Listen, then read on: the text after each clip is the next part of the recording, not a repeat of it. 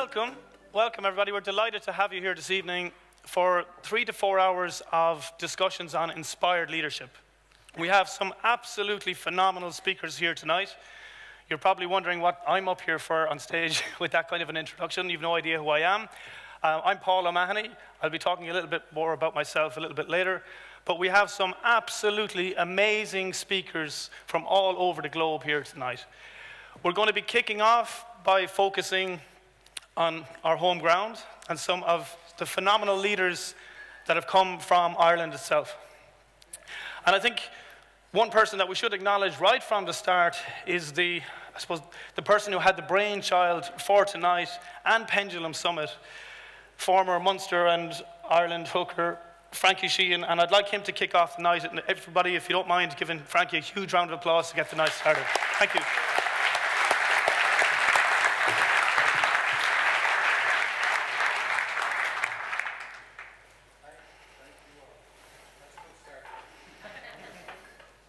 Sting? Yeah. Uh, great start. Um, thank you all, guys, for showing up. I know, uh, to steal what Gerry Duffy would say, I know uh, your time is very valuable, and we don't take it lightly that you are taking the time out to come along to this. Uh, you could be with families, you could be doing all sorts of other things, and we really appreciate that. Um, and what gets me really excited about evenings like this is all the people here are like minded people. And we all have that appetite to constantly improve. And that's what makes it special, because you do have choices and you've chosen to be here tonight.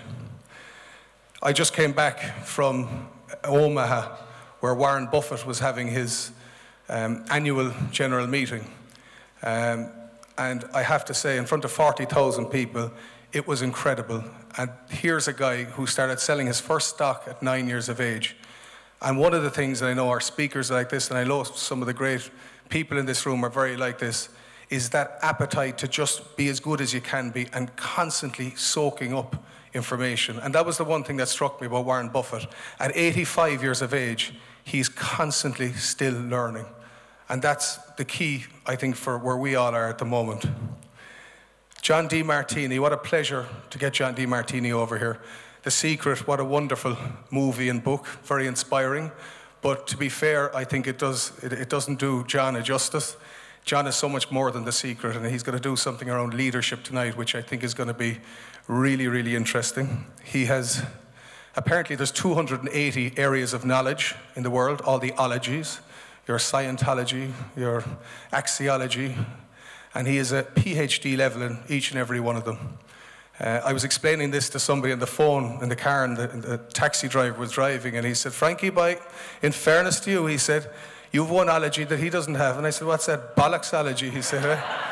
so, even though John is probably better than me at that as well, you know. But, um, so, Paul uh, re referenced that we do have some great speakers from Front Row Speakers, right? Front Row Speakers, just to give you a one line on it, we're now the fastest growing speakers bureau in Ireland and the UK. And we look after a lot of big corporates from anything from leadership training, management training, corporate hospitality. And I know a lot of you inside in this room uses quite a bit, so thank you for that as well. Um, the speakers we have, Sonia O'Sullivan, one of my heroes, uh, not just for the medal that Sonia won, the famous Olympic medal, but I think for her resilience and the way she came back after uh, you know, going through a couple of tough times. So looking forward to hearing from Sonia. Philip Matthews, another hero that I watched on the rugby field playing for Ireland and the Lions.